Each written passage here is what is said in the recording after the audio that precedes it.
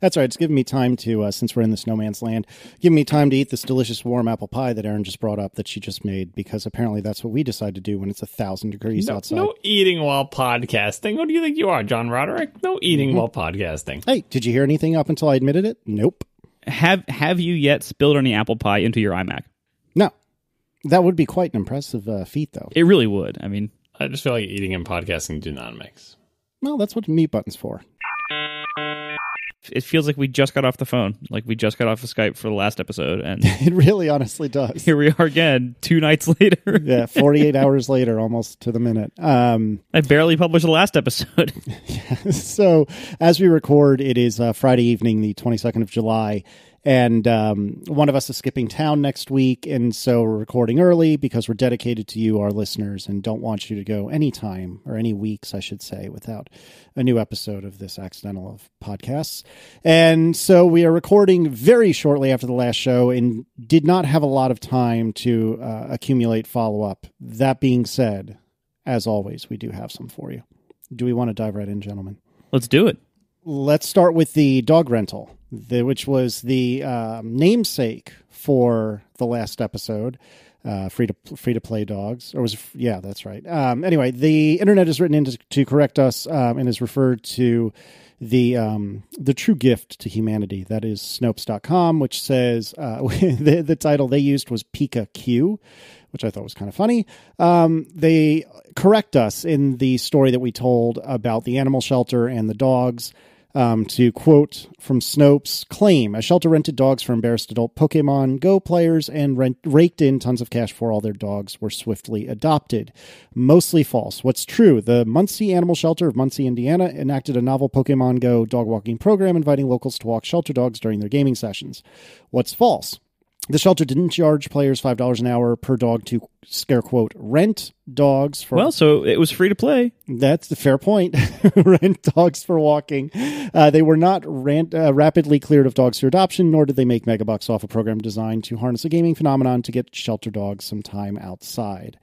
So um, that was all a bunch of BS for the most part, but it's still an adorable story, and I'm I'm kind of glad we talked about it anyway.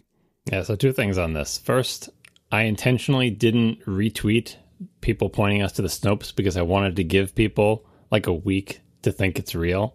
Of course, it doesn't work if we record two days after the previous one. But the people who aren't listening to the live stream, I want to give them. I mean, maybe you guys already RT'd it, so that's that's too bad. I did not. I didn't have the heart. I, I want to give people a week to to believe. Like and like when we prefaced this in the past, uh, the last show, we were like, you know, who knows if this is true? It's on the internet, blah blah blah. But it sounds like a good story, and that's uh, of course all the things that are made up on the internet sound like a good story. That's how they spread. Um, but I like to give people a week to think it was real because it's a, it was a nice, heartwarming story. And the second, uh, Casey referred to Snopes as like the gift of the internet or whatever.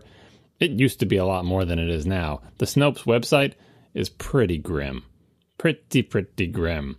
Like it is not a nice place to be. I was scrolling through this story and there's like this picture of maggots at the bottom that's part of one of those terrible ads and everything is like blinking and Oh moving and God, yeah, you're right. no, it's not a, it's not a good site. I don't know what happened to it. You feel like uh, like uh, IMDb or whatever. I mean, IMDb has gotten worse too, but like you, you think these old sort of things that were around a long time ago that have value that sort of are category defining websites should have found some way to to make it work without making their sites more and more gross over time. But but alas, But that's just that's just the web these days. I mean, it's it isn't like Snopes is run by horrible people. I mean, I don't know who runs it, but it's not just the web these days. No, It's it really is. the- it isn't. It's just, it's just your in your cynical view that you think every website is doomed to this fate, but that's not true. There are websites that are not like this. Like I said, even IMDb, which has gotten worse in terms of usability, but hasn't become festooned with ads and viruses and pictures of maggots.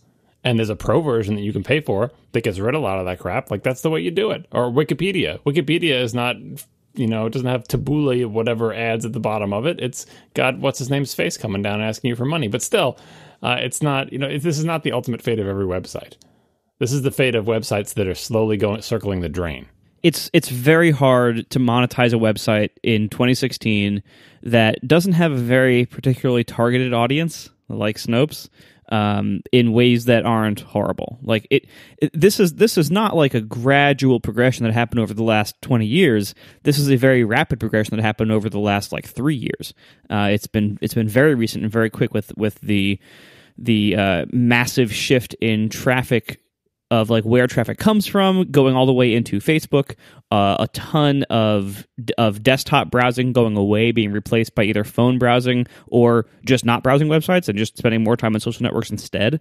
Um, and, and then of course all the you know robo ad networks and all the problems that go along with those, like the horrible ads and the massive fraud problems. And I mean it it's a tough business now to try to make money by just having an ad supported website. It's very, very hard. It's nearly impossible for most sites to do it in a way that they can both afford to have any kind of staff quality at all and also have a site that is not very focused, uh, you know, audience wise, so it can't get very expensive ads and that is not just full of horrible crap like that. It, I mean, look around. How many websites do you see that are really in great shape these days that, that have a staff of more than like two people. It's it's really hard to find any. Yeah, but all, all, the more reason that like the well known sites have a leg up because they're like, where does everybody go for movie stuff? IMDb. Right? I mean, Amazon bought them already, so they basically have already been saved by their plans. But you know, uh, it's it's not impossible, and if it's, it's if it's going to be more difficult now than it used to be, or whatever, the ones that have the most advantage are the ones that are already established genre defining categories. Even Slashdot never got this bad, or isn't this bad now, because I believe it still exists. Well, yeah, all of Slashdot's trashers in their comments.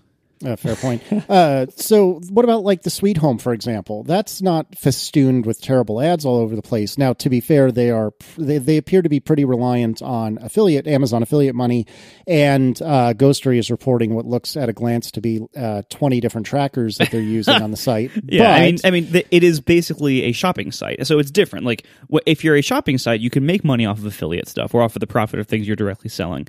It's very different for you know something like Snopes, which is like a very basic content site. You know, you make money off of page views, period, and it is really hard to get anything good there these days, um, especially when you are both big and untargeted, like Snopes is. Snopes should be no different than Wikipedia, though, because the same thing. Wikipedia is general purpose. There's no confined audience. It's extremely broad. It's a simple site that just contains text and yet Wikipedia not festooned with ads or viruses. Well, Wikipedia also, you know, first of all, it is donation funded by a, what seems like a pretty large amount of people, and even then, they still have to put the giant Jimmy Wales head on top of the, on top of Wikipedia in what seems like a very uh, increasing frequency. Uh, but that also, I, I'm pretty sure that they have a pretty small staff of actually paid people. Um, and are they're probably also a nonprofit, right? Well, how many people do you think Snopes needs? I don't think it needs a, a gigantic staff of, of, people. I mean, they could they could leverage volunteers as well. This this is not a site where people have to file seven stories a day about. It's not like a gaming site or something. There are much harder categories than Snopes. It just feels like a shame that Snopes is exactly one of those sites that because it's mostly purely text and it's a simple site and it shouldn't require a giant staff and they're not you know uh, reviewing cars or sending people to trade shows or doing anything else that costs a lot of money up front it, you know, it's just a shame that it is like, and, and because it's still popular, people still link to Snopes. I wish it had been replaced by like a Stack Overflow versus Quora equivalent where the crappy site gets replaced by the better one. But instead, we all just go to Snopes and it just every time we do, it gets worse. Well, and you know, it's also possible, you know, we don't we don't know that the Snopes owner who owns Snopes is it some big company or is it just kind of its own thing? The maggots own Snopes now. Yeah, right. but like you know they could just be really tired of running it and just maximizing profit for a while too. Like that is also a possibility here. But i, I think it's more likely that they are uh, uh, at least partially a victim of the problems that all web publishers face these days with trying to get any money out of ads in an age where almost everybody browses on phones, almost all traffic comes from Facebook, and almost nobody clicks on ads on phones, by the way, so you have to make money in other creepy ways. And also, the ads that you're selling are being sold by decreasingly few brokers with decreasing prices. Fair enough. All right, and uh, to bring this back to Pokemon, uh, Hugh wrote in to say well, hey, this this is the rules. You got to get through the follow up before we move on. Uh, Hugh wrote in to say, my friend was very excited to play Pokemon Go with her seven year old son. She excitedly installed it and said, "Let's go out and play." But he was quick with his rebuttal. No, mom, Pokemon is for old people. Sad times. Just like that, we're all old all over again. It's kind of true. Like uh, you look outside. There was a couple stories about this about uh, Nintendo targeting uh, people in, in generational waves. Like if you played Pokemon as a kid, now you're ready to play it on your smartphone because at the same situation with my family. You realize that if your kid doesn't have a smartphone, it's very difficult to play Pokemon Go without at least one person with a smartphone that you can tether to, because you do have to be on the move with internet access at the same time. And seven year olds don't have a device, a portable device with internet access that they can walk around the neighborhood with. They they would have to go. I mean, they should be going with a parent anyway. But like when I look, when I see all those pictures of look at all these people, they're all playing Pokemon Go.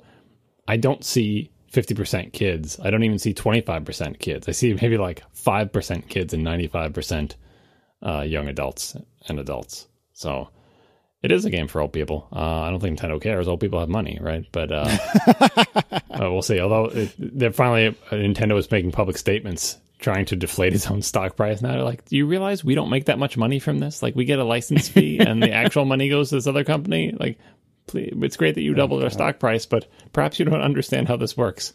We're not getting uh, as rich as you think we are. Delightful. All right. Any other follow up? For 48 hours later, no. Actually, we we did get uh, one really nice note uh, from a person named Cap. Cap said, "Hi, one thing that's great about Apple not updating the Mac for ages, there's never been a better time to buy a Mac secondhand. A few months ago, I managed to pick up a 2011 iMac with a uh, SSD installed for an absolute bargain. Added a bunch of USB 3 ports via Thunderbolt dongle, and couldn't be happier. Uh, it isn't just that this, that this machine was ridiculously cheap. I also didn't feel like I'm missing out on anything besides Retina by not getting a new Mac." Uh, and this is, I thought this was a really good point because, like, when you see that the entire lineup uh, in certain in in certain families, if not the whole Mac lineup, has not changed that much in like three years, that means you can buy a three year old Mac and it's still pretty competitive with the with the brand new ones that are coming out today. Uh, and you know, th- it's a mixed bag. Uh, obviously, we'd like things to be getting better over periods of three years in the computer industry, but as long as they're getting better so slowly, uh, or not at all, then you know like you could pick up like a three year old Mac Pro that's almost out of warranty now for probably a decent price, and it's still the same machine being sold new. You know, more more realistically, you know, you, most people wouldn't be doing that. most people could get this, get similarly great deals on like a MacBook Pro. You know, you can get the first generation Retina MacBook Pro is from 2012. That's now four years old, and it's not that different from the ones they're selling brand new still today. Like it isn't that much slower you know you might you might have to replace the battery if it's worn out but these you know lithium poly batteries don't wear don't wear out that quickly uh, so like you can really get amazing deals on like three to five year old macs now that are almost as good as the ones they are still selling brand new today I have trouble bending my mind in such a way that this is actually a good thing. Like I know some people can, you know, like I'm not missing out. It's it's not much worse than what you could buy new, but it is still a really old and really slow computer. It just so happens that you can't even buy one that's that much better, but it doesn't change like in absolute values the state of that old machine. And also, it may not change like Apple's sort of deprecation window of like, you know, like my Mac Pro and a bunch of other machines don't have support for uh, Mac OS Sierra and stuff. I'm not sure that window, Apple's sort of sliding window of dropping old hardware support for OSs, takes into account the fact that Apple is not making their computers much better. So I think that window moves along whether Apple releases new Macs or not, which is kind of sad. And really, you're right. It's not they're not that much worse than the current ones. And in some cases, you can find a machine that's that's a couple years old that has some attributes that are actually a little bit better than the current machines. But all you're doing is putting yourself even farther back so that when the new Macs inevitably do come back, like the, the gap will suddenly widen because we all presume Apple will continue to produce Macintoshes in the future at some point.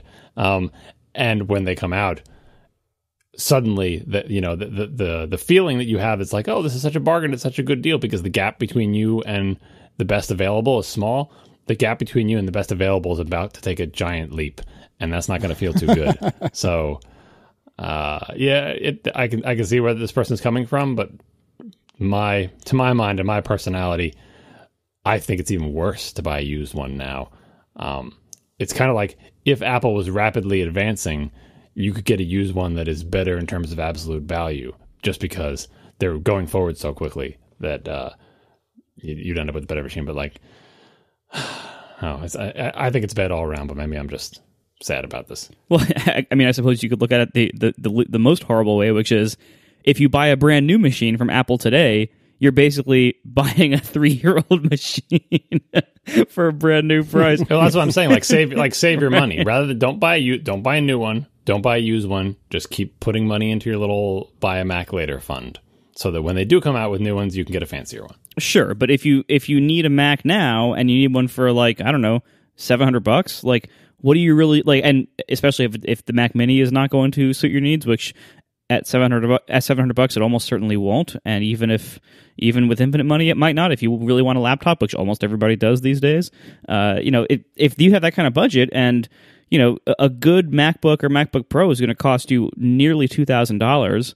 Um, well, you know, once it's optioned reasonably, then that's a pretty good option to you know get a three year old one for you know basically you know get today's Mac for what it's actually worth today, which is a three year old one's price. Yeah, if I had a business and I absolutely had to buy them, so like new employees were coming on board and we didn't have computers for them, I might buy a the cheapest used one I could possibly get with the idea that I will buy a new one also, like as soon as they come out. Because that that is probably like what's the least amount of money we can spend now to get a computer on your desk that you can use while we wait for the new Macs to come out, knowing that as soon as they do, we're going to resell those used ones and get a new one for you. That that makes sense to me. I mean, you could you could probably get a used 101 for the same price it'll cost to upgrade the new one to one terabyte. Mm, yeah, don't don't remind me. We are sponsored this week by Trunk Club. Premium clothes, expert advice, no work, thanks to your own personal stylist at Trunk Club. Go to trunkclub.com slash ATP to get started. Shopping takes forever and nobody has time for it. Now it's summer, so you probably need a solid pair of shorts and some swimwear for all your offshore activities. And it'd be nice to have somebody else pick out all these things for you. With Trunk Club, you never have to set foot in a store and you get your very own stylist for free. And again, this is not like a bot stylist. This is not like a little window on a website that you type into and you kind of wonder, is that even a human on the other side or is it a bot? This is an actual human that they contact you and you know you get assigned one person and they're real. They really exist. They're a real person. You, you know their name. They know your name. You send them your measurements and everything, and they and you, just, you know tell them your preferences, what kind of stuff you like, what kind of stuff you don't, and they make it easy to look your best by sending you clothes that will fit you perfectly. They handpick them. The stylist handpicks them for you. You know, they have your measurements and everything else. They pick clothes from over 80 top brands and ship them right to your door. And here's how this works you request from them a shipment of clothing whenever you want one. Whether you want it to be simply on demand whenever you ask, you can have them send it to you once a, once a month, once a quarter, once a year, whatever you want. So it isn't like a subscription where you're just paying every month no matter what you use. You you, you tell them when you want them to send you a trunk full of clothes, and they will send it to you, and then you can try things on for up to 10 days in your home. And then you just keep what you want to keep, and they charge you for that and you send back anything you don't want. So it's totally risk free. This is premium clothing being sent to you by a real personal stylist with your measurements and preferences in mind. This is not just another way to, another way to shop online because this is all human driven and it's risk free. They send you stuff right to your door. You try it on, you keep what you like, you send back the rest, and you only pay for what you keep. So make a statement today at the next big event on your. That doesn't make sense. Make a statement at the next big event on your calendar with a look that's handpicked just for you and your style. Get started at Trunk Club today. Premium clothes, expert advice, no work, thanks to your very own personal stylist at Trunk Club. Go to trunkclub.com slash ATP. That's trunkclub.com slash ATP. Thanks a lot. I talked a lot about this on a, a, recent episode of Reconcilable Differences that I think is not out yet, so I don't really have that much to retread about it here, although honestly, I, am not sure how much overlap there is in the audience between those two shows. So maybe we'll just say all the same things again in true Marco fashion, where he says he doesn't have anything to say about a topic and then just says everything over again. Um, so this topic is uh, Twitter. Uh, Twitter's little verified check mark that mm-hmm. uh, historically people have had if you're a super important celebrity and people want to know, like, is this the real Sheryl Crow? And you look at their little Twitter profile and it shows a little check mark, and you're like, oh, it must be the real one, and not the million parody impersonation accounts or whatever, of which there are many. How did you land on Sheryl Crow as your example? Example? Oh, for... I don't know. I was trying to think of a celebrity. Like, who do the kids know these days? Not Sheryl Crow. Is Sheryl Crow the most recent celebrity you can come up with? It's free association. No, it's not the most recent, but like, I mean, I guess I could have gone with Taylor Swift. I mean, I don't know what you. Anyway, that's what the check mark has been for historically, and I think we've talked about this topic before. How it would be much better if that kind of attestation where Twitter says, yes, we are telling you that this is actually the person you think it is, if that was available to many more people, because it's not just celebrities that suffer from accounts that impersonate them and otherwise uh, make their lives miserable by people mistaking um, them for somebody else. Just put like different Unicode characters or capital I instead of an L or like whatever. I mean, I don't I don't understand that that much because you can just right click on your web browser and fake a screenshot much easier than making a fake Twitter account. But anyway, um, the second aspect of this is because because it historically been celebrities that get to have this check mark. Uh, Twitter has rolled out a, a series of like different views and tools and filters and features in their official client that are only available to people who are verified with the idea being they have so many followers and have so many replies to go through they need extra tools to deal with their stuff and again uh, a lot of people who deal with harassment and other problems on Twitter could also use those tools, but oh, they're not important enough to get verified. Um, and so I think in our last uh, conversations about this, uh, I was saying, and uh, so I think you two were agreeing that like verification should be available to everybody. Um, and we understand that it takes time and possibly money to verify because they they like look at your they need like a state ID or they, they basically need to check that you really are you, and that takes time, and a human being has to do it, and that costs money. We're like, just charge a fee for it. If it, if it costs you money, we're not saying Twitter you have to give this away for, for free. Charge a nominal fee because pretty much everybody I know who desperately wants to be verified for actual for a purpose, you know, to, to get the tools or to deal with harassment or to make sure that they're not impersonated, would gladly pay a nominal fee. To I mean, they'll throw the money at you in two seconds to get uh, the little check mark that says, "Yes, I really am who I am." Why is this limited to celebrities? Why not open it to everybody? So, in theory, recently, Twitter has changed its rules in the light of the whole Ghostbusters abuse thing, and all, all you know, one of the stars of Ghostbusters got chased off Twitter by a bunch of terrible people. Um, I don't know if that was the impetus behind this move, but it, you know, timing wise, it sure looks like it.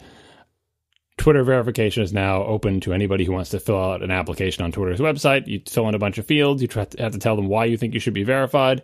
If you're a brand or a company, you can check a checkbox for that. If you're an individual, you tell them, like, here's all the places where you can see who I am, here's why I should be verified.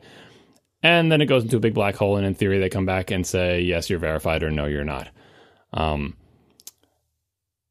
and this comes up specifically as it relates to this show because Marco, Marco's been verified for a long time, right? You were were you verified like the, the very beginning? This is the thing. I was I, I got verified like three weeks ago or something. It was it was really recent. I thought you've been verified for a long time. No, like I I started ranting about there was some when oh it was when the uh when what was that app Engage what, what was that app they launched a couple weeks ago that we were all made fun of. Oh, like the celebrity only uh, yeah. app to like see who what people are saying about your tweets or whatever. It's like ego surfing. Yeah, I mean anybody could use it, but yeah, I mean, and I actually used it for a few for a few days on my phone to kind of try it out. Um, but when that launched, I was I was basically ranting about how like you know this app gave special privileges to verified people in the in the way that like not not as verified people using the app, but if you were verified, you your tweets would show up in these filtered views higher than non-verified people. And it was just like yet one more thing that was, you know, because the verified system has, you know, having a system like this has lots of problems and inequalities uh, inherent in it.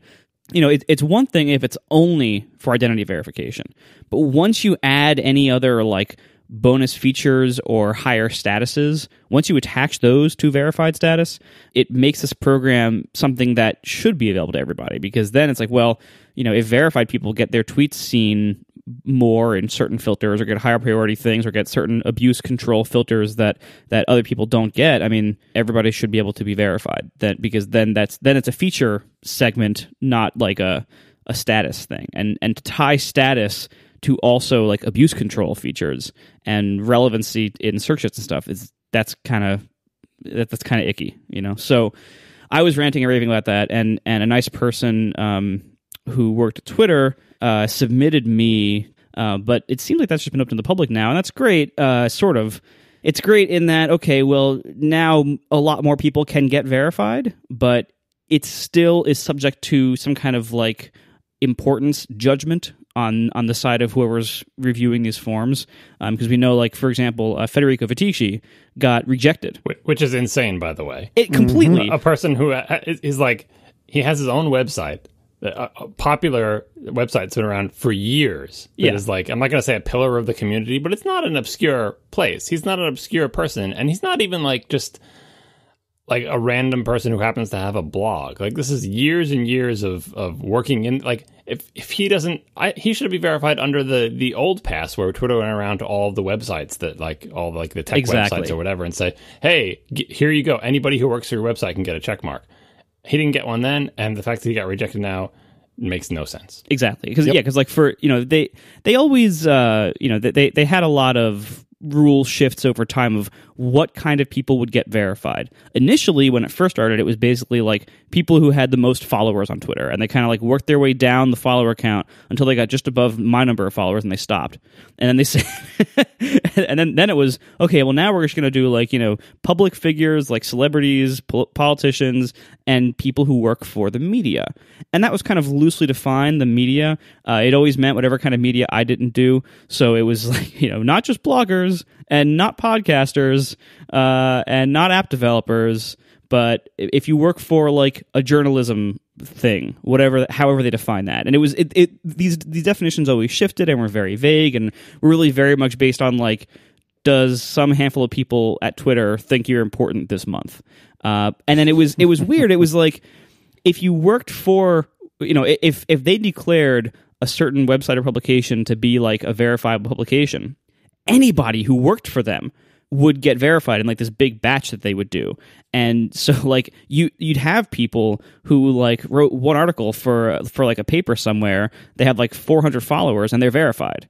And then you have people who have like 50,000 followers who can't get verified. It's just it's a, it was always a weird system and it's always been these kind of like vaguely defined, very like human judgy kind of clarification. Like I, I know like uh, one of our friends reached out uh, about a year ago to see to try to get the three of us verified, and they told because you know he knew a guy who knew a guy, and the response was, "We don't consider podcasters to be media personalities at this time, and YouTubers were getting it."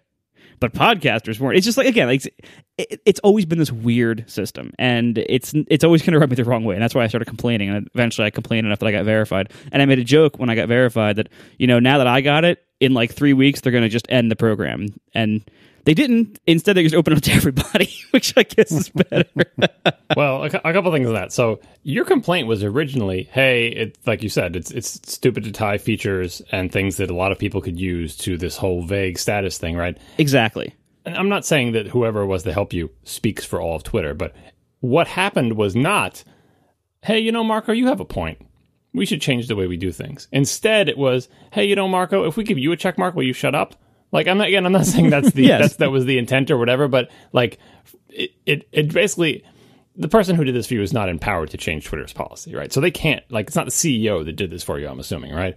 Um, so they just tried to do the nicest thing they could to make you feel better, which is a good customer service move. And it's like I can't actually solve your problem, but how about if I do this to make you feel better? And like you know what, it kind of does make me feel a little better, but it didn't do anything to to solve the actual problem because the person who cared about this was obviously not the CEO or anyone in a position to solve the problem.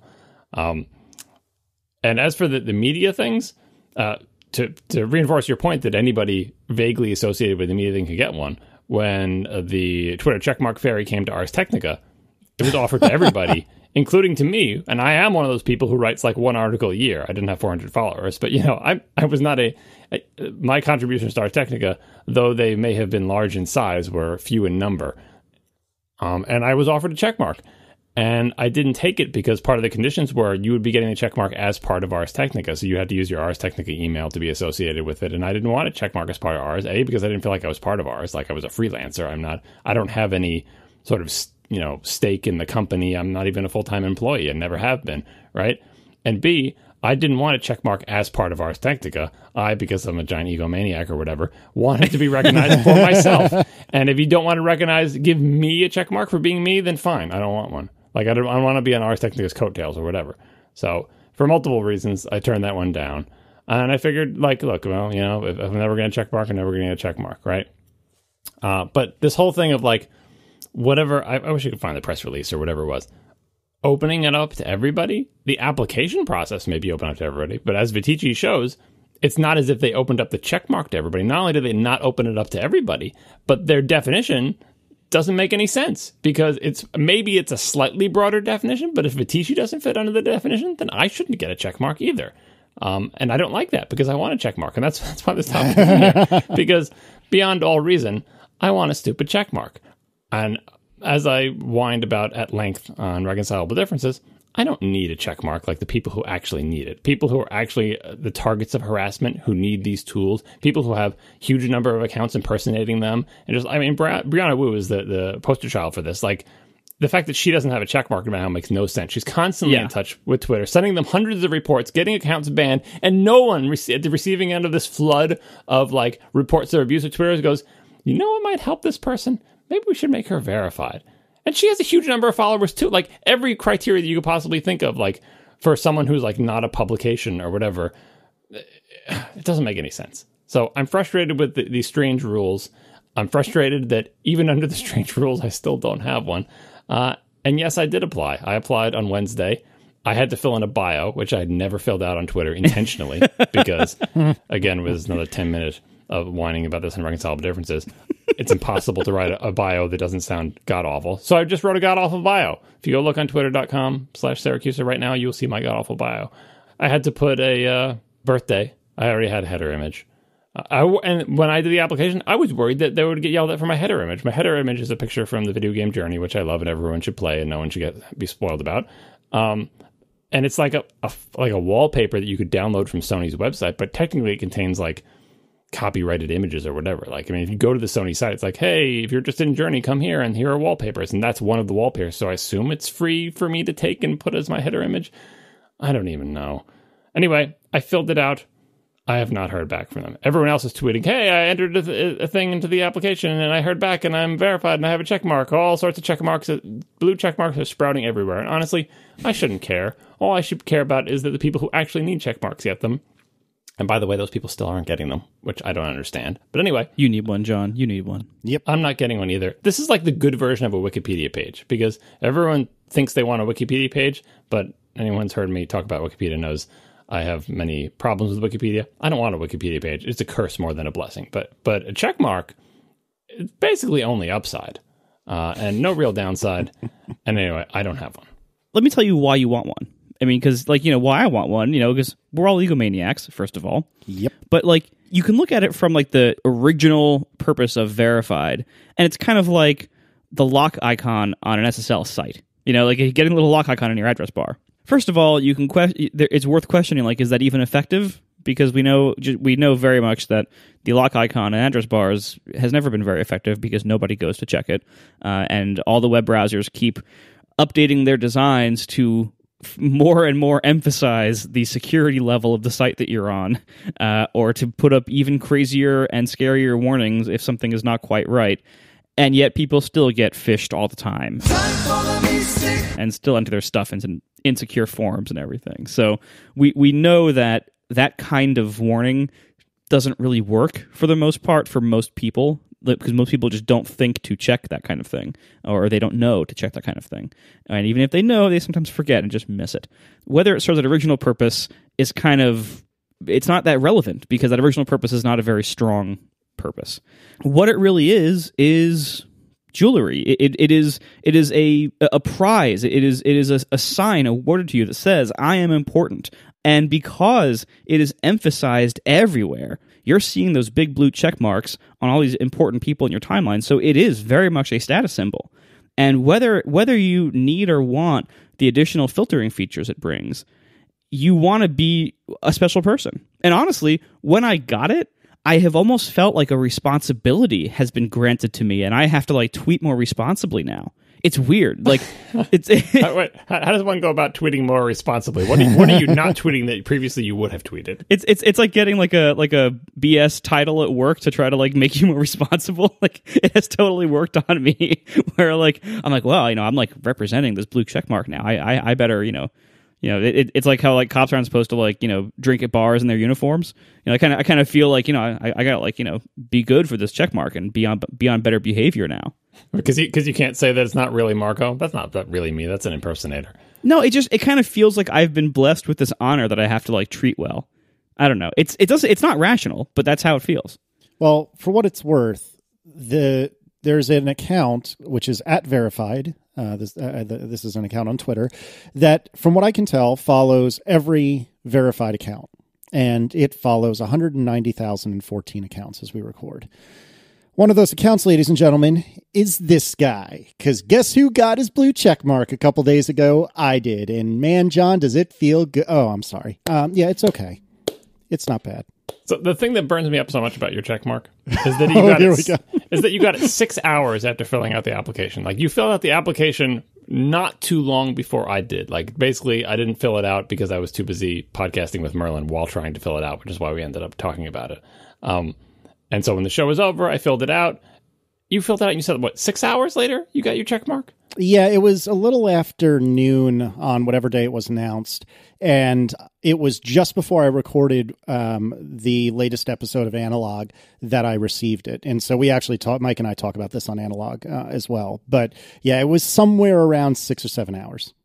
It's like showing up to like a really popular event just after the whole crowd gets there. Like there's a line of five people, and then you, then you wait 15 minutes, then there's a line of 3,000 people. So now I'm somewhere back in a queue. I just assume I'm going to get rejected because that would fit perfectly with the completely arbitrary pattern of like not giving Viticci one, rejecting Viticci, and just never responding to Brianna. Like it fits perfectly with with the the whole notion that is just like a hamster in a wheel over there or some kind of random number generator and no actual human with any kind of judgment is doing this because honestly if there was anybody with any kind of judgment doing this like not giving verified check marks immediately to every single target of gamergate like I I don't. I don't understand the meeting where you'd be like, "Should we do anything about this? And should we give them check? No, let's just not ever do it for like a year. Does that sound good, guys? Okay, good. Let's break for lunch. Like, I don't. I don't understand the logic. I don't even understand the neglect. I don't understand. And how can it be staffed to such a degree that Casey's wait time is six hours, and that they they give him a thumbs up, and yet all these other people don't get them? Like, it, it doesn't make sense to me. It doesn't make sense. Anyway, I totally recognize that this entire topic and conversation is obnoxious and that I shouldn't care. Um, but we do care because they made us care. They manipulated us into caring about these blue check marks. Yeah, there are some leg- some legit reasons that, that that a regular person would want this, like people who don't need it, like me. Like I said, because you get you get more features that make Twitter nicer to use, and I think your thing of the lock icon is great. It's just like I want my account to seem trustworthy and to people not to think it's me. And I have had a few impersonators who I've reported and their accounts have gotten closed, and it's like whatever. Like it's not. I don't have any any actual issues, but it, put it this way: if they literally opened it to everybody with ten bucks, I would pay ten bucks in a second. Oh yeah. No, I mean like like I, I registered the Overcast account for it, and I I, I signed up or I, I filled out the form roughly the same time you did, I think, John. And I haven't heard back from that either. It's still pending. Um, but I did it for for basically that reason of like I wanted the Overcast Twitter account to appear you know official to really make it look like this is a real business for a real app that that matters in the world because it's good enough to get a blue check mark like i want people to see that that is that it, it helps look more professional I mean, we're we're going to do the same thing for the ATP account, A- uh, ATP FM on Twitter. I want people to know that that's the official account of the show, and so a check mark would be good to give them the reassurance that they're like, "What was the ATP one?" Because it's not just at ATP, because that's a different one, and you might not be sure.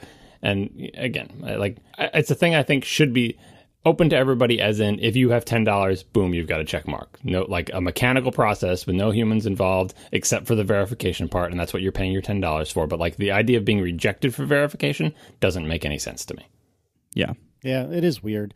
Um, with that said, in my what is this like three or four days of living the sweet, sweet, sweet blue checkmark lifestyle, uh, I've only noticed two differences so far. did, did you get your gift bag Yeah, did you see that special present they gave us? oh that yeah was impressive. Oh, it's so good That that one was awesome. Anyway, um, so if I look at the Twitter website on the in the settings area on the left hand side where it begins with accounts, security and privacy, blah blah blah blah blah blah blah.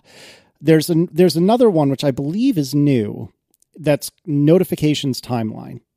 And I don't recall having seen this before. And it says filter tweets by, and then there's a checkbox, and only one of them that says quality filter.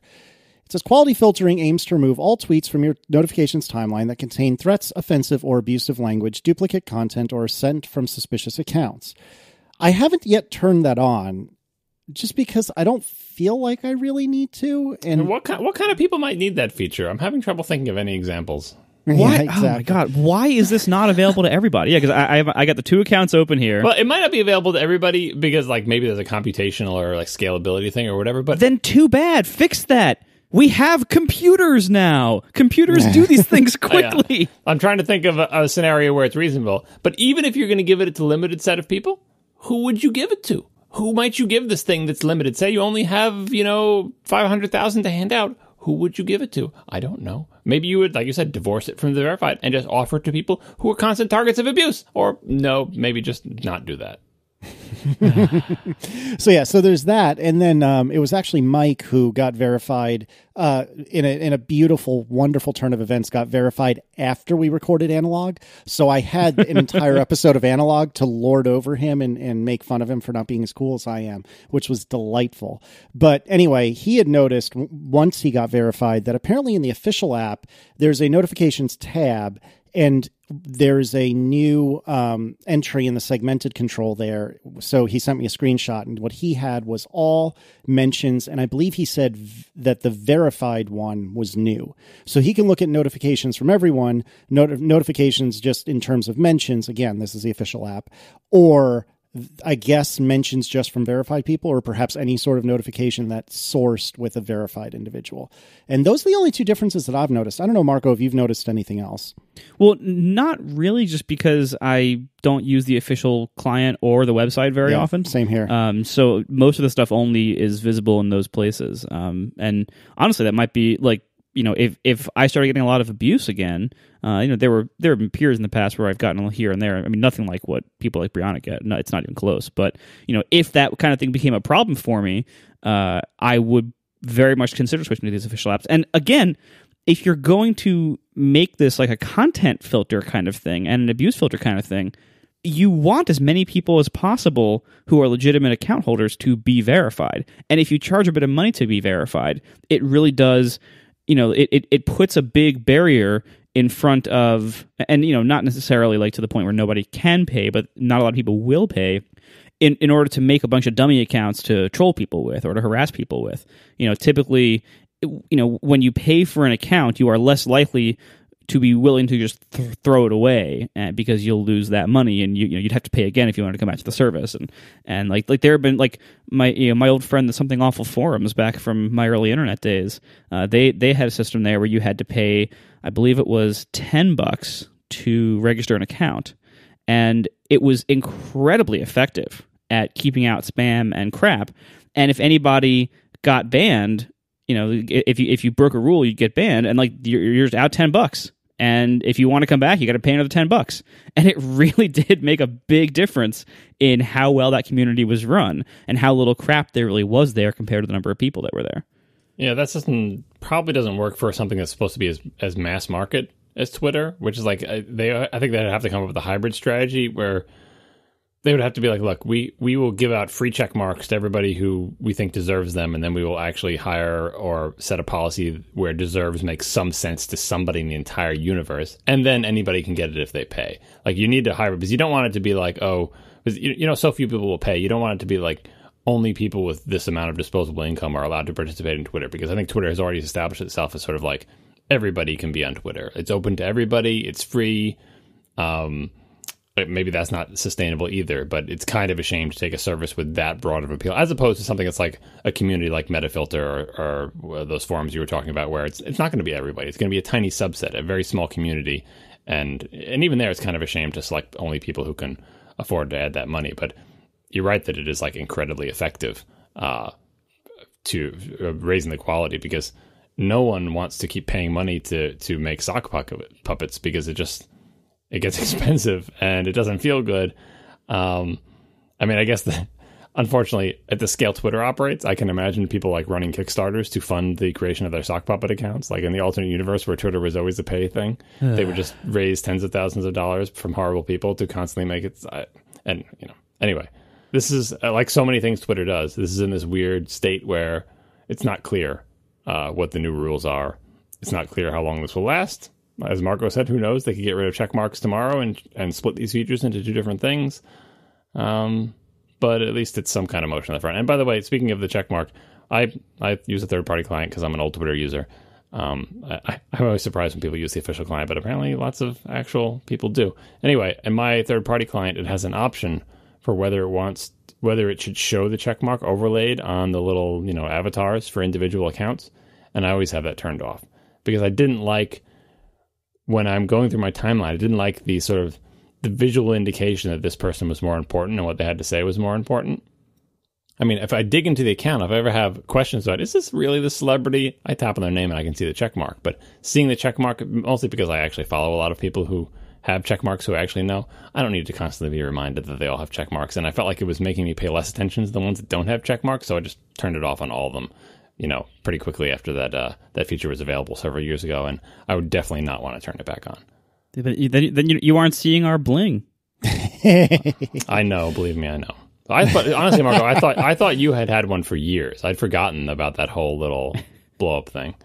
Yeah, and the funny thing is, right after I got mine, Marco and I were talking privately, and we had concluded without a shadow of a doubt, collectively, that there was zero chance that you would solicit your own check mark because you are above that.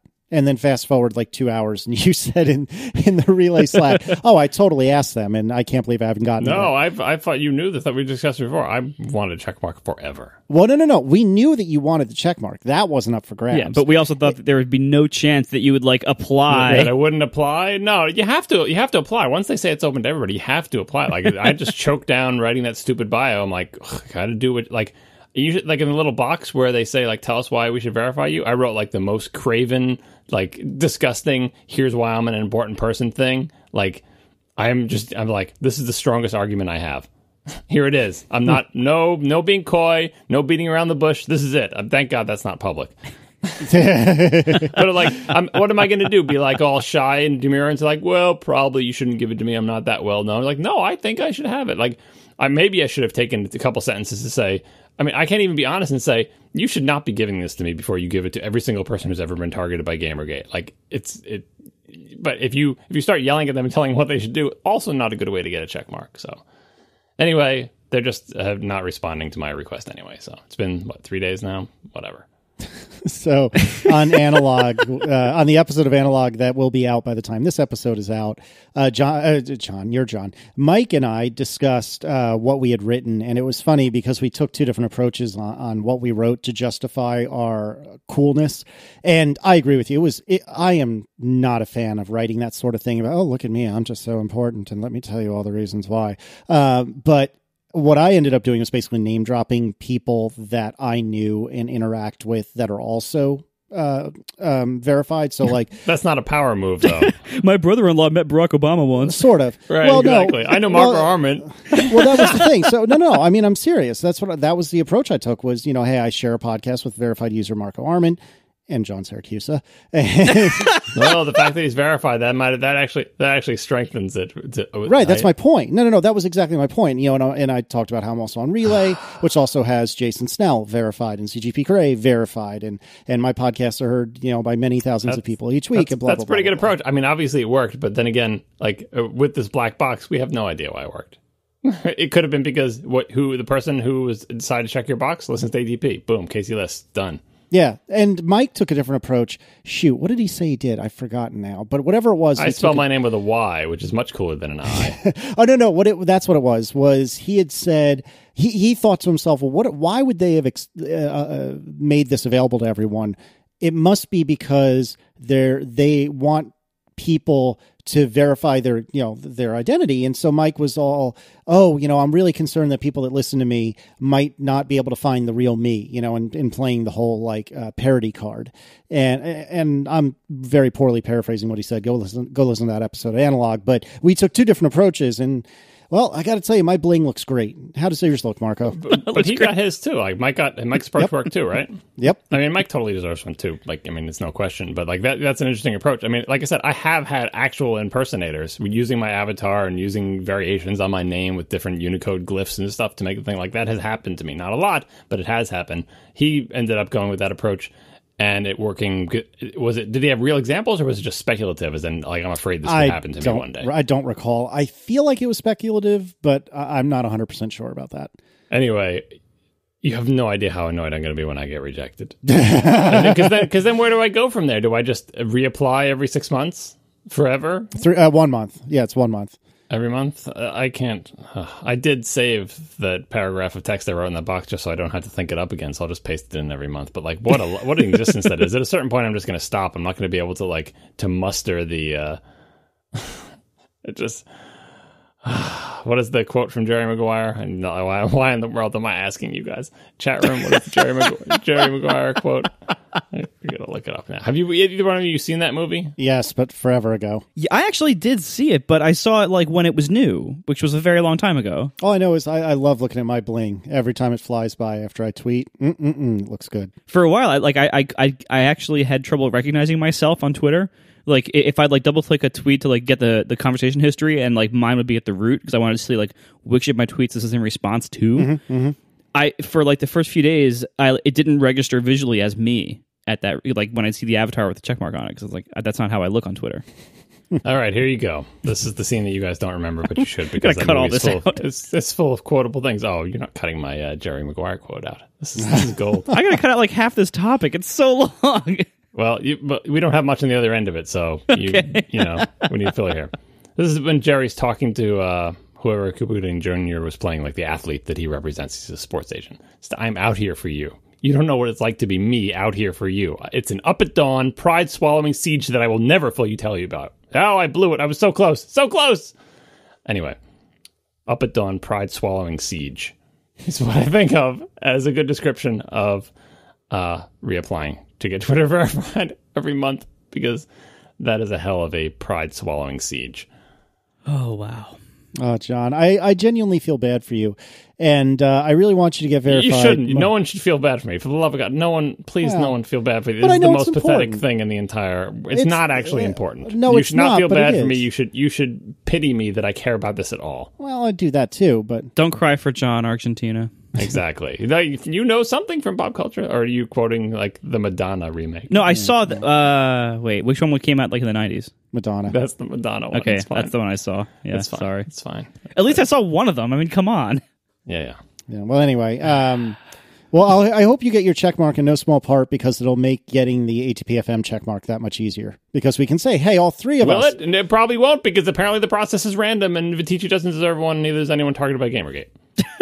Well, I mean, this is part of the problem with any of these like human review. It, it's you know, it's just like the App Store where like even if you set rules in place and even if the rules don't change, which I think for Twitter's verification process, those are two big requirements that probably have never been met before. Uh, but assuming you have you know codified rules that don't change much over time you still have a team of humans enforcing them. And like, you know, when when Viticci's went through, it could it was right after this big rush started. It could have been a bunch of people who saw this giant pile behind them and it was right before lunch and they were tired and they were grumpy and they just started saying no, no, no, no, no to it. Like it, it could be so many things once you have like humans trying to review a whole bunch of stuff subjectively. It's it's just these kind of rule systems will never be consistently enforced as long as there is that subjective component to it. That's why this that's why they should remove that and it should just be like do you fit the basic qualifications? You know can you prove your identity with like you know a government issued id that we trust and can you you know maybe pay a few bucks for our time since you since you know we're going to do this for a lot of people? That's it. Like that should be all it is and as soon as you put in judgment calls of, well, are you important enough? It's never going to be consistently enforced. We are also sponsored tonight by Hover. When you have a great idea for your blog or startup or store, you need to give it a great domain name. Find the perfect domain with Hover. It's ridiculously easy. Hover has over 400 domain extensions to end your domain with. Of course, they have all the classics like .com and .net. They have some of the new kind of kind of specialized ones like .design, .tech, some of the weird kind of jokey ones .pizza, .ninja, .horse. They also recently launched .store. Now, among all these jokey weird ones that have been coming out over the last few years, .store is finally like a normal one that you can actually use for a useful purpose that doesn't sound jokey or weird or cheap or anything like that. Dot store is great. It just opened up. There's tons of great dot store domains available, all at Hover. Once you find your domain at Hover, you can use a feature called Hover Connect to set up your domain automatically with tons of popular website hosts and functions there. No more digging through crazy help articles trying to figure out how to get your domain working. It is really excellent at Hover. So find a domain, find a domain name for your idea. Go to hover.com and use the promo code verified at checkout to save 10% off your first purchase. Once again, hover.com, promo code verified. So, Marco, we're doing pretty well. We're about an hour in and we still have one more topic left. And I think we might be able to dodge stupid TiVo for one more week. So, we got to stretch this one a lot. All right, we'll, we'll see what we can do. So, tell me everything that I could ever possibly want to know about serial number tracking and forecast. Okay, now that you've ruined both product names of the things I was going to make, um, Wait, was that not? Wait, If what? he was looking at the show notes, you would know, know. it was called that. But I know, what I was the other? What was the other name? Uh, the, uh, the Sidetrack. audio alignment. Yeah. you. He didn't say that. You did, didn't you? No, it, but it's in the show notes and I missed it, so it's fine. It doesn't matter. Oh, sh- crap. I'm sorry. Don't worry Wait, about did- Have you not announced forecast? I've been I kind of mentioned it here and there. It's also it's it's in the ID3 tags of every MP3 I've made in the last two months. So it's it's it's just sitting right there. People have asked me on Twitter like, "Hey, what's this forecast thing?" So yeah, oh, they, God. they I figured feel it like out. such a turd. Oh, I'm sorry. Do, you, do we want to re record that? We can re record no, it's fine. No, no. Now you have to explain the, the goofy origins of the name in, in typical uh, Marco naming fashion. I am excellent at naming things. I don't know what you're talking about. Actually, this is perfect because this will delay TiVo even more. So please tell me the name about this thing that I just spilled the beans on. Uh, sure. So Forecast is my podcast post production uh, app for the Mac. It basically uh, is an MP3 encoder as well as a chapter and metadata editor. So it allows you to input a, any audio file, wave, AIF, you know, other MP3s, whatever else, and just edit the metadata on it. It encodes it to MP3 if it isn't an MP3 already. Uh, it uses my parallel uh, version of the lame MP3 encoder, like I discussed a few episodes back. Um, I, I did succeed in making that. It does work. The last few episodes of this show have been encoded with it, and nobody noticed, so that's good. And it also can do things like edit chapters. And you might have noticed in recent shows that not only have I been using chapters more uh, in the encode here, uh, but also that we've we've recently gotten um, here and there. I've, uh, I've been throwing in some chapter images uh, where you have a, special a special image for showing up at certain times in certain shows uh, that's topically relevant. And this is all being done by this app Forecast. Uh, and the reason I named it Forecast is because it's what comes before Overcast. Come on, I mean. oh no, you got the three things. So it's the connection to the weather. So overcast Yes. and forecast. You forecast the weather. You, uh, but you've also and then what was the one you just said? You've got the uh, you do it before it appears in overcast. Uh-huh, yeah. And also this application takes files and prepares them for overcast. Uh-huh. yep. And Overcast ends in cast, which is because it's about podcasts. So it's all these different, you know, all these references in this name Forecast. So And also, you are the famous creator of the podcast application Instacast, as far as I'm able to tell, right? Is that right? I, yeah, that's, I, you know, people. For a while, I thought I kind of owned like the Insta prefix with Instapaper, mm-hmm. and then Instagram came out, and the game Yeah, was over nope. because now, like everybody just thinks anything Insta, people people think Instagram. So even if I tried to, you know, and, and Instacast was a different podcast app by by a different person, e- but even if that never existed, even if I tried to launch a new podcast app called Instacast, people would think I was ripping off Instagram's name, not Yep. not playing off my own name of my own product from from you know ten years ago. so anyway. Uh, so my app is called Forecast, and it's a Mac app. Although, as far as I, as far as I know, there's nothing really about it that would make it that would preclude an iOS version in the future if I really thought that, that it was warranted. Um, but the, there's not a whole lot of podcast production happening on iOS these days, so uh, the, the demand is mostly on the uh, computer side and probably mostly on the Mac side, if I had to guess, uh, between Mac and PC.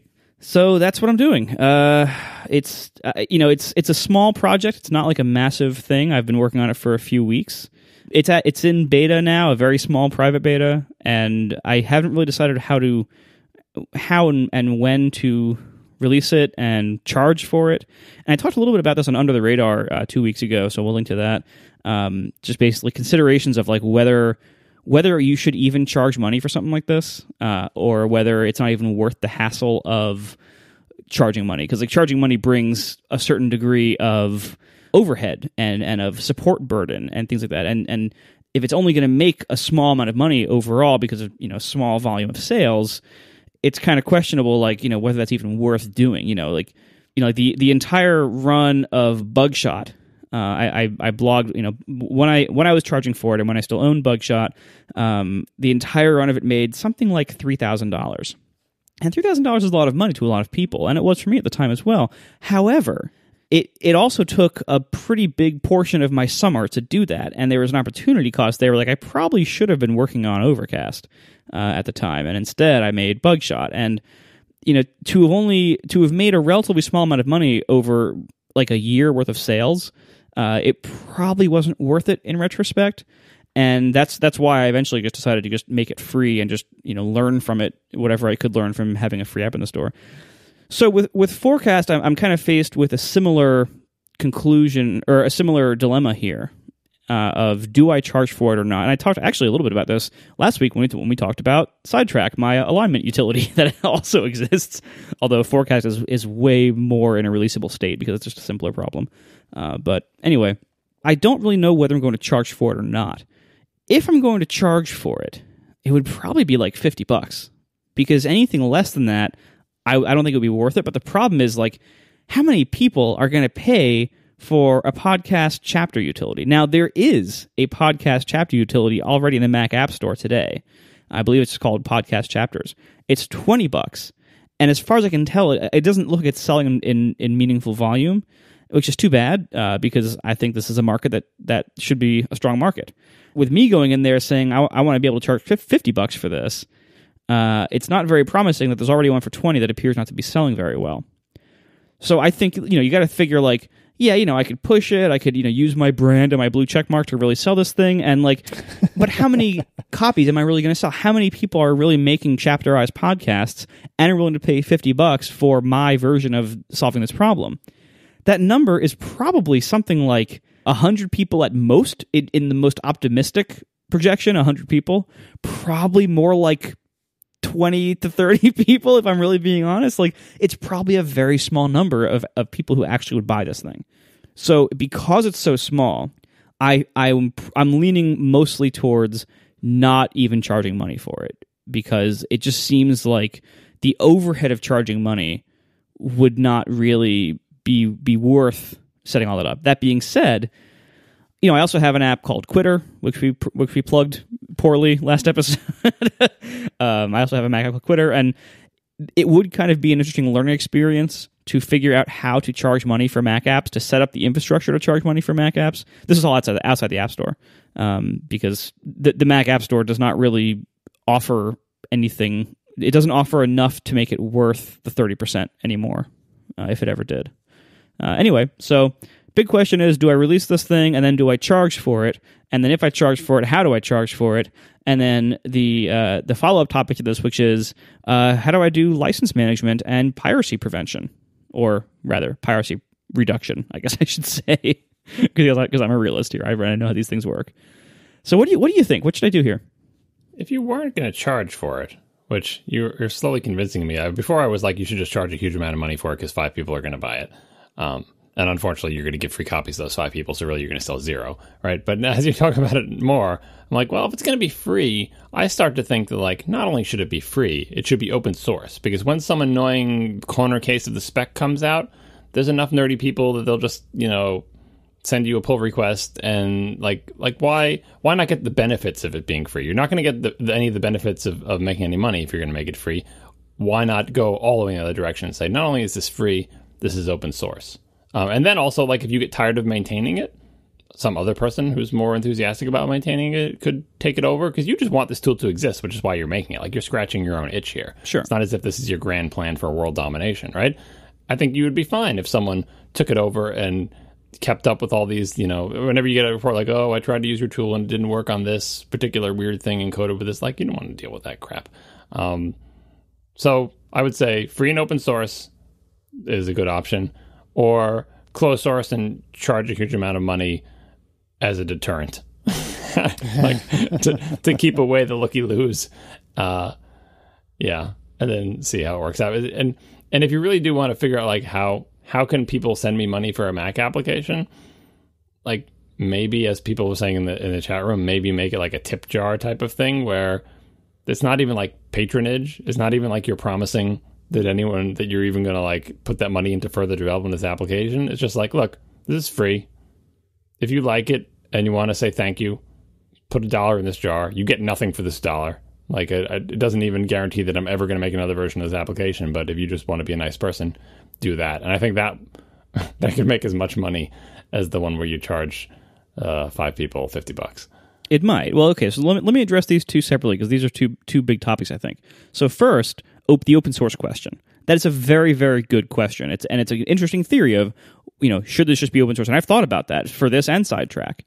What I found though, you know, in just being a person using computers for a while and and a little bit, you know, a little bit of direct developer experience, but mostly just being a user of this stuff. What I found is that there there tends to be not that much value to entirely open sourced applications, especially for fairly narrow uses like this. There is lots of value in open source components and utility libraries and stuff like that. There's lots of value there, but the value of open sourcing the entire app here is is not incredibly great unless there's going to be a lot of contributors working on it. And for most apps, that simply doesn't happen. Uh, from you know most apps, getting a lot of contributors is like is like this this fantasy that you have when you think about open sourcing it. But then if you actually do open source it, almost nobody contributes, and you get a handful of pull requests here and there, and then then it just work. Then it's just like then it's like going through resumes, but people put all this work into it, and then you have to like you know you have the ones you want to accept, you got to like you know make sure they work. You got to test them with all of Casey's unit tests and all this crazy stuff. And then, and and even the ones that that that work that you want to add, it might not really have been in the way that you would would have wanted to do it, or the code might be messy. you, you, gotta let go when it's open source. True. You gotta like let go of the thing and like. And I think you don't want a whole bunch of a contributor or something. I think you just want like two smart people contributing to it, and that's it and that all it does is like re- relieve the, the maintenance burden for you with the idea that eventually you'll be bored with it and, and someone else will just take it over and then you'll be sending them five line pull requests. Yeah but i mean i think in reality again that that's a great theory. In reality that doesn't happen very often. And also when you so when you open source things you know especially a full app like this like you have the problem of like you're generating work for yourself because you're going to have to deal with the the contributions and, and, and the reports from people and and every and the but pull you requests. Don't, you don't have to deal with the contributions. You just you can just ignore it. Eventually, people will fork it and like like that's that's the only. Yeah, but then you're a jerk. No, it's not. I like I feel like that's every that. open source thing I've ever done. It's been like, look, here it is. Maybe if I feel like it, I'll look at your pull request. But if not, like, because if people are annoyed that you're not taking the pull request, they'll just fork it, and then like they've taken over. That's the only way you get people to take it over is you just neglect it, and then someone else takes it over, and you're like, oh, good, done. Um, like I, I I'm thinking of it as totally like not feeling any social responsibility because this is a very obscure thing. Yes. Like it is not a mass market thing. It's super obscure and it's just it's just kind of your way of having it's like buying a lottery ticket for removing a small amount of maintenance from your future, but it really is totally giving up ownership of it. So forget about like picking a cool name for it and having any ownership or any stake in it or whatever. It's just like completely open source. Like it's it's the far extreme of these these possibilities, which you haven't Right. ever done anything like this, and uh, and the only reason I'm suggesting it in this case is because this seems like the only time I would ever recommend it because it's, it's so it's so clearly not not a thing that has any potential upside that like that is significant. Yeah, I agree with John. Unless you're going to sp- uh, be charging an absurd amount of money, which I think in principle you could, because the kind of people that would use this are probably the kind of people that make a decent amount of money uh, uh, making these shows. Mm, that's not necessarily true. It's not necessarily true, but it's certainly possible. But but regardless of that, I, I think John has convinced me, listening to him, that open sourcing it is probably the best way to go. Because the key to open sourcing it is is that you can point at that you know GitHub repo and just say, "Yep, shrug. It's up to you, man. I did my part. Now it's up to you." And and then if somebody complains to you that something isn't working, you can you are completely absolved of any guilt because it is within their power in principle to fix it. And, That, that's a wonderful theory. That doesn't work in practice that No, but way. like it does. Like it, you could it's just it's just a change in attitude. You just say like like the, I, I'm not offering you support for this. This is not a product. You didn't pay me any more. Like if any if anyone actually complained, be like you're getting what you paid for. I'll refund all zero dollars of your money. Like don't even respond to the emails. Don't even look at the things. Like I'm good at that. tons of tons of open source stuff are, is like that, and I don't think anyone can get mad about it. It's like, plop, here it is, and you can continue to edit your thing, or like like there is no obligation. I feel, and this is you know. This is a topic of some controversy in the open source world. People are like, once you have it open source, you have to like maintain it and deal with pull requests. No, you don't. That I'm totally of the opinion. if you just want to plop a bunch of code down and be like, oh, look, here it is, and never never communicate with anyone in the entire world about it ever again. Just put it under a license. It's like, you want it? Here you go. Fork it. Do whatever the hell you want. You and your friends do whatever you want. If you don't have the ability to change it, oh well. You sucks to be you. Like, but whatever. I'm I'm a programmer. I wrote this for my own purposes. And as a nice aside, I'm going to chuck it out there so other people can mess with it if they want. If I'm in the mood and someone sends me pull requests, maybe I'll incorporate it, but no promises. Maybe I'll never look at it again, which I understand, like, that doesn't feel good to a lot of people. It doesn't, but like, to me, that feels like one of the beautiful things about open source. Like, that, that you, that it's kind of like, rather than sort of keeping it to yourself like say you we take the the selling it to other people off the table which i don't think it should be off the table but anyway say say the alternative was like i wrote this out for myself and i use it myself and this is the alternative like don't don't hide it. It's, it's like uh taking all your belongings with you when you die right? Like you you know as soon as i died burn every one of the the uh, van gogh paintings i own because i don't want anyone else to ever have them. It's like i made this thing for myself but also i want to share it with the world. So if you want it here it is. It is what it is uh, go nuts with it. And them having it doesn't affect you because it's software. Like you can both have it at the same time. Um, and you can both do whatever you want with it. Uh, develop it, not develop it, whatever. Um, and the final thing is like it has all the benefits of being free because like if we look at the iTunes podcast directory, there are a huge number of podcasts. If you made a free tool like this, word would get around among the tons and tons of sort of like uh, you know, like the, whatever the bell curve looks like for podcasts in terms of traffic numbers, the long tail of podcasts that, that are out there. There are a lot of podcasts, and I bet uh, a few of them, if they needed a tool that did this, and the word got out, like, oh, if you need a tool that does this, the easiest one is this free Mac app. Click on this thing, download the thing, and use it. Whatever you're help, like you're helping a lot of people do their podcast production, and if those people come looking for like, oh, I found a bug in this program or whatever, you don't have to respond to them either because they got a free application off like a GitHub page. Like maybe they won't even be downloading it from your page; they'd be downloading it from the seventh or eighth person who forked it. Who knows? Well, okay, and those are all reasonable concerns and reasonable points but I don't think I'm ready to give up that kind of control. I know, I know, I, I, I totally know from your personality you don't want to do this, but well, right.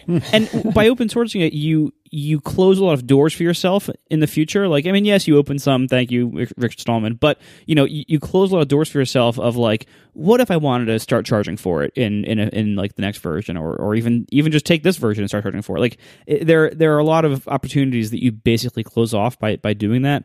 Also open source has has a number of problems in in today's world and i don't know if this was always the case but it certainly seems like today this is this is a big problem where any kind of open source app now in the world of app stores will have lots of opportunistic uh, vultures and scammers basically just taking it changing the name maybe if you're lucky and putting on the app store for money and trying to make money off of it. it this happens so, to all sorts of open source applications now. It happens a lot. App Review would never allow that. Yeah, right. that's that's hilarious. They'll yeah. put a, put a little icon of Mario on it and exactly, uh, exactly. And call it Minecraft 2.0, and I'm sure that will go right through App Review.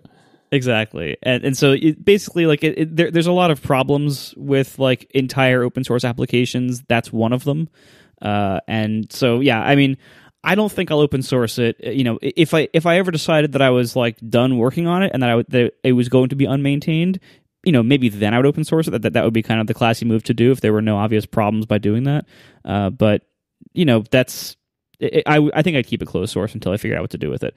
Um, that being said, you know, again, like, do I really charge for it or not? I don't know. I mean, ultimately, the world is better off if it's free but I have a hard time justifying working on it if it's free. So I have to kind of balance that. Like, you know, is it really like because every day I spend working on this, I'm not improving Overcast, and I still need to do that too.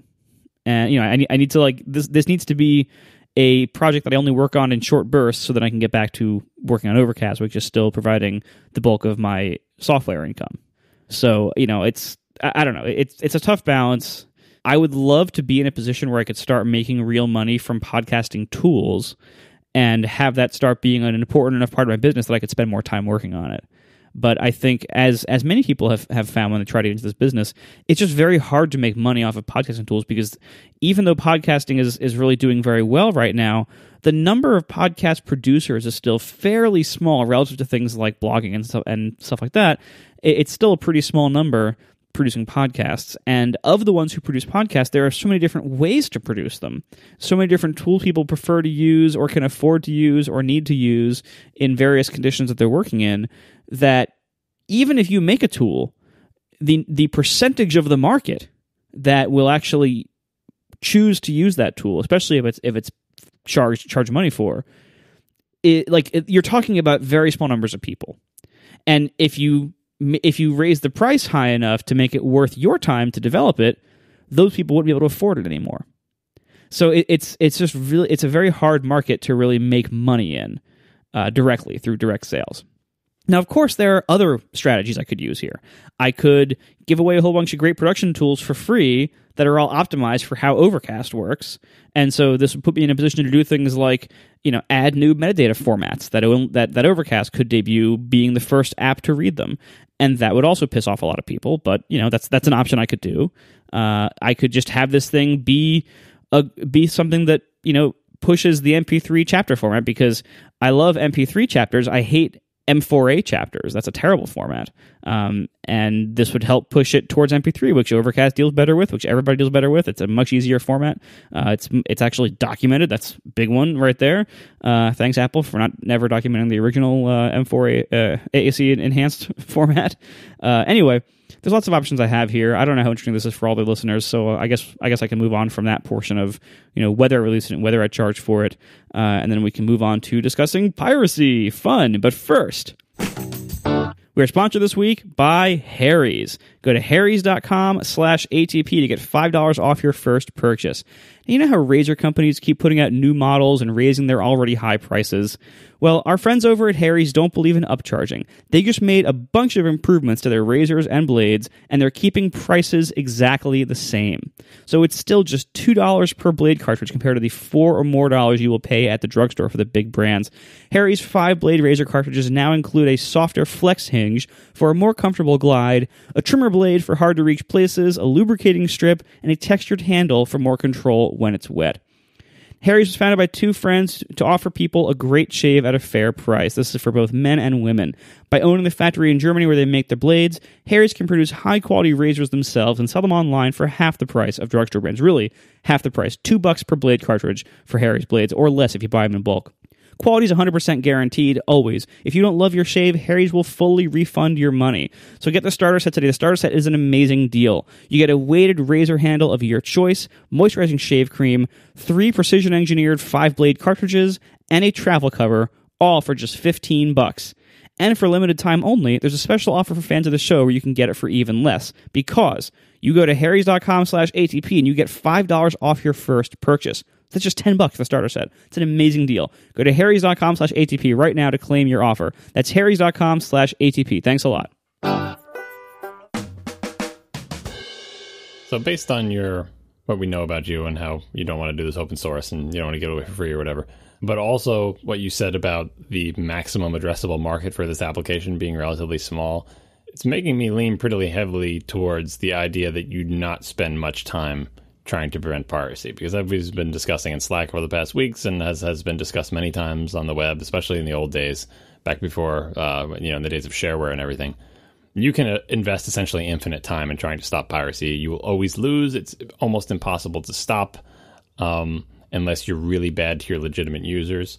And and and for what? To to get like two extra users out of an addressable market of 100. It's just not worth it. Like so not only should you not spend lots of your time on an application that you know is not going to make tons of money, uh, but of the time that you spend, all that time should be on the actual application. Very little of it should be on the part that you know prevents piracy. Just you want to prevent super casual piracy, so do basically the simplest thing that will possibly work, and uh, and I would say that's it. And then just like you know, you don't want to do nothing because it's so easy to just do something, and that helps. Um, but and especially if like as you mentioned, the ambition to be like this could be a stepping stone to like a, a, you know a, a, suite of podcasting tools or an integrated integrated podcast production application. Like you have to build your way up to an app like that. It's very difficult for a single developer. Yeah. With other applications to do that. Like, but if you are going to build your way up to it, you'd want to build it on a ladder of small applications that make money and that you learn things from. And that once you do like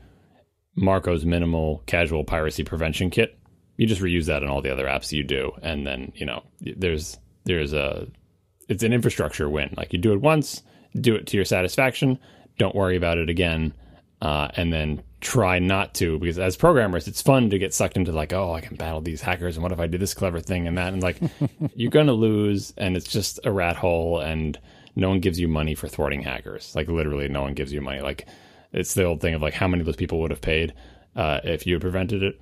Like do enough to keep the, the people with a conscience vaguely honest and then call it a day yeah that's i mean that's basically my thought here too which is if I charge for this, which again, I'm I'm really leaning mostly towards keeping it closed source, but probably releasing it for free.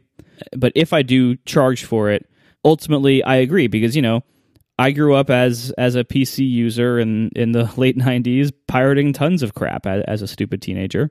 I know how these things work, and I it's been a while since I've been in that scene, but I'm pretty sure it basically works the same way now as it always has. The easiest case scenario is you share a key and even if you start doing like key checks, well, then you just hack the binary to bypass the check. And no matter how obscure, and you know, you can obfuscate the check, you can put multiple checks all over the code. There's all sorts of strategies and techniques you can do, and ultimately, none of them really work for very long. Um, and you can look at the gaming market, the PC gaming market, for all their wonderful tricks they they've tried to do over the years, and most of which get cracked fairly quickly. You know, granted, a big reason those get cracked is because there's a lot of people who want them to be cracked. And if for a very narrow tool like this, if there's only going to be like 100 possible customers, like, you know, it's very likely that none of those 100 people are actually like professional crackers. but, you know, the, the, reality is that I, I agree that it's not really worth spending a lot of time on. It is worth spending some time on because a little goes a long way. If if you put in a system where like, all right, I just bought it, and I want to give it to Casey. And I just, you know, do I email him a copy of my key and he just enters it and it works?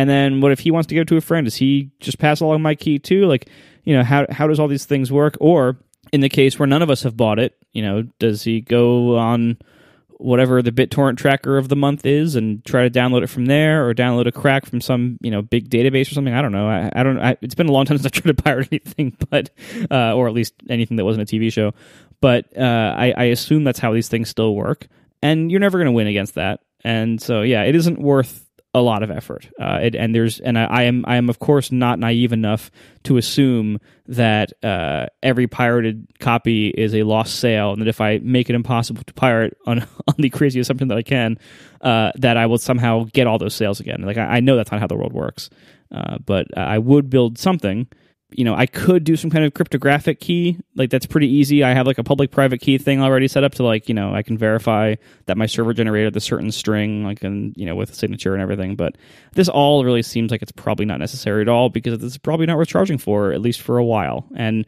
maybe someday if I have, you know, a few years down the road, if I have like a suite of tools that I can release together as like one suite and maybe charge 50 or 100 bucks for that maybe that becomes more compelling and maybe I charge then. But I just don't see charging for this now uh, in in a way that would be really worth the trouble because I, I think at most I might make a couple thousand dollars over the course of like a year, and it, you know I know that sounds like a lot of money to some people, but if I have to have this entire support system in place to make that, it's probably not worth it. You know, as I'm thinking about it and listening to you talk, the only reason I can see not to to open source it on the assumption that it's free, which is what it sounds like you're kind of backing your way into. The only reason I can see not to open source it is if you wanted to eventually sell it down the road. And that's a weak argument to begin with, but if you make it free, there's still a support burden. It may not be quite as obnoxious as a paid app, but you still have a support burden. Whereas if you open source it, it should absolve you of any support burden. I guarantee you it doesn't. I guarantee it. Well, but that's all in you, right? I think I think the free the free one absolves you of support too. Because if it's free, like I don't think the open source gets rid of the support. Like the, what the open source does is the, I was just saying like if people do send you patches, you don't have to accept those. But if you give a free app too, that there's no support button there. It's like it's a it's a free app. Like this is what I'm using right now. I happen to put a link up on my website. You feel free to download it and use it, but you get nothing from me. I don't owe you anything. I, again, I will refund your entire zero dollars that you paid for it. Well, but when if it's open source, then you can say, "Well, go fix it yourself," which is obnoxious. But no, you can't actually. You can't actually say that. You should never actually say that, and you can't say that because nobody who complains knows how to fix it. Yeah, I mean, like I am a programmer. I use lots of open source libraries and stuff and things, and I hardly ever fix bugs in them. I just if I find a problem with one, I either work around it or I stop using it. Usually, because usually it's a it's a deeper problem that I don't feel qualified to fix or don't want to spend the time to get familiar enough with the code base to fix correctly. I mean, like like how many podcast producers are also Mac programmers? Uh, some of them are, but probably not a lot of them. Yeah, that's a fair point. I I really feel like if you have a free app, you will definitely a free closed source app, you will definitely get support requests and complaints. And if it were me anyway, I would feel a lot more compulsion to to address those because I'm the only person on the planet who can address them as opposed to if this thing was on GitHub which admittedly the people who are emailing may not have the capability of of fixing the problem but but at least there's some other human being out there that might be able to and that's how I would rest easy at night is knowing look I'm not helping all these people that are whining about what does and doesn't does or does not work, but I'm also not standing in the way of them figuring out a, a way to fix it. Because any future designs on on podcast production products, which clearly he has, though, all you'd be doing is giving a head start to your competitor, to your future competitors, essentially. Like someone could just pick up that code and say, "I'm going to use this as the basis of my competing suite," and that's that's not a good plan if that's your if, if you even not you even plan to do that, but like I might do that. Like like Marco said, I want I want to leave that option open. Uh, so yeah, and getting back to the serial number thing, I think the most important feature of the anti-piracy thing, other than the fact that it, it exists at all as a you know a non-zero barrier, is that it not annoy honest people, and that yes. is the the part where most of these systems fall down because really we're like it's again, it's so tempting to be to judge your anti-piracy system on how well it prevents piracy, but your anti-piracy system should be judged on how little it annoys uh, people who are not pirates, and that's really hard to do. Uh, and you really, mostly in terms of restraint, you have to like back off and not be like, but but but but if I can't contact the server to verify the code, I shouldn't launch, right? It's like no, no, you gotta you gotta just let go. just think think about the honest user and how you never want to be in their face. Yeah, no, I mean that's I mean, I, have because I am me. I have brainstormed all sorts of crazy ways that I could do this. That like, thing, of course, I'm I'm thinking about doing a passwordless email login because that's what I do. we we already beta tested that. The focus group was not uh not good. I still don't have a problem with it. Yeah, that's because maybe your emails actually show up in time, and you're not sitting there hitting refresh on your email client, going cursing Marco every time. Yeah. So anyway, uh, those of us with real email clients love these kind of systems. but anyway, it's not the client; it's your damn server. It's stuck in a queue somewhere, trying to get out of your ISP. It's not my server; it's your client. This is why you don't use the Gmail web app, kids. This is why you don't use Gmail, kids. Uh, Gmail's fine. Oh, Gmail gets mail. Gmail gets mails like instantly, except for it, yours. Some, apparently, some no, no. Some websites, third-party websites that are not Google's, I go and I do like reset my password. I click the reset my password link and like before the mouse button is up, it arrives in the other browser window in Gmail. Like, and when I see that, I realize it's not Gmail that's not checking my mail fast enough. It's something else. Whether it's internet traffic, email is a store and forward system, many things can go wrong. It's not that. It's gray listing. It's always gray. If there's ever a delay in email arriving in 2016, it's gray listing. It is not like, oh, the the postfix queue is full. No, that's we are so far past that point these days. So for those of you who aren't familiar, gray listing is a type of spam prevention technique where basically the the theory is that spam servers have to go through this massive list and don't have time to like retry and wait around if the server says I'm busy, try again later. So the idea is, but but but a well behaving mail sending server, if the if the destination server says sorry I'm busy, try again later, it'll actually hold on to that message for a while, like a week, and and it'll just try like every hour or every you know whatever. It'll try again after certain uh, certain short intervals and then followed by long intervals. Anyway, it doesn't matter. So a spam prevention technique that a lot of people that a lot of places do is upon like the first time you, you get email from from a certain sender, so you don't already know that they're legit, you you just tell them, oh, you know what, I'm busy right now. Wait a bit. And the theory is that the spammers will just move on because the spam bots don't have enough memory to keep track of all those things and try again later. Uh, and then, but but legit servers will try again later and it'll get through. And that's why so often the first email you get from a certain service or whatever else will be delayed by like an hour. Be, that's that's what's happening. It is not any other reason. It is that. It is graylisting. But it's not the first email from your servers that gets delayed. It's random and it's not an hour. It's like 60 seconds, but it seems like a long 60 seconds when I'm sitting there waiting for it to arrive. Well, no, it's it's kind of it's up to usually. Well, okay, I see what you're saying. It, where in your in your case, it's not that long. But yeah, because like it's I think it's kind of up to the client as to like up to the sender as to when they try again. But I think I think a common practice is about an hour or something like that. But yeah. Anyway, it's kind of like the the, uh, orders of magnitude in terms of like instantaneous is, is less than the speed, and like uh, you know not waiting is less than you know 100 milliseconds, and like there's, there's certain like you know orders of magnitude of like 10 milliseconds, 100 milliseconds, one second of like you know when does attention wander when do you feel like you can go off and do other things when do you feel like you're waiting on it and going from one having a password and having it autofill and clicking the button is in a different order of magnitude than having to go to get an email. Like even before you get into the idea of like having to find a link to click on or whatever, or copy and paste something or whatever it is you may have to do, it is just a whole other order of magnitude in terms of responsiveness of like how long does it take me to log into this site, um, and what other things does it involve. So, not a fan. All right, thank you to our three sponsors this week: Hover, Trunk Club, and Harry's, and we will see you next week. Now the show is over. They didn't even mean to begin. Cause it was accidental. Oh, it was accidental. John didn't do any research. Marco and Casey wouldn't let him. Cause it was accidental. Oh, it was accidental. And you can find the show notes at atp.fm. And if you're into Twitter, can follow them at C A S E Y L I S S. So that's Casey Liss, M A R C O A R M E N T, Marco Arment, S I R A C U S A, Siracusa. It's. Accidental.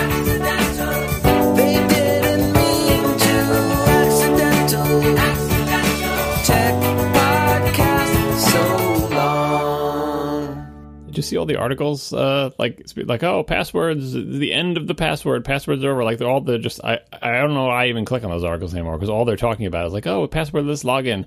This it's like this you know hellscape where reset my password is the only way you can log into anything essentially. Well, but I mean, honestly, first of all, that is not that bad. I've done it; it's fine. Second of all, that is kind of the reality of how a lot of people log into things anyway. Because a lot of people I, I know, but it's not a, it's not a good reality. Like it's a bad reality. I don't want that reality. agreed, but a lot of people like just always forget their password to everything, and they just click that link almost every time they log in.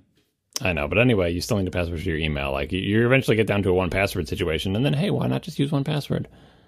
So here's a question: What if what if my key system was a web login, and what if it was basically like in the app, it would have like email and password? No, no. you, can, can can you not make a, a client side application that does not have a server component? You do not need a server component for. You're just like I want to write PHP. Damn it! I know it's a Mac app, but like there's such a huge huge win to just giving people a binary and then they never touch your servers. Like it gets, it scales much better than you having to babysit servers. Well, but that but that does not do anything about key sharing, which is probably the biggest form of casual piracy. No, no, but I'm saying like if it's free, like if it's free application, I just want to see Oh, you ship yeah. a free a free uh, like Quitter. Quitter, I guess you did it. There's no server component to Quitter, right? Yeah, it's just free. But but you're just dying to, to do something in PHP. Like I could have a login page. I like PHP. I love all the backslashes and the namespaces. No, I'm just kidding. I still haven't used a single namespace because I hate the backslash. Uh, you quickly got over Windows then, huh? Yeah, I, so oh, I, I could talk about that briefly if you want. If, if we don't have an after show, it doesn't have to do with TiVo.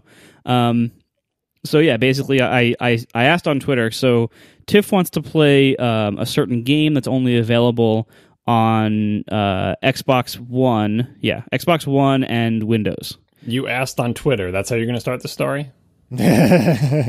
So what what's the real start of the story? The real story is I was asked because I'm a person who you know who plays games on Macs. Hey, I want to play Inside. How should I do it? And I told you the answer. Two days pass, and then you post on Twitter, "Hey, can anyone tell me how I can play Inside?" As if we had never talked, as if the discussion never took place, as if what I had to say was just garbage and obviously not trustworthy. Because what do I know, having actually played Inside on a Mac? What did you t- you you had this conversation with me or Tiff?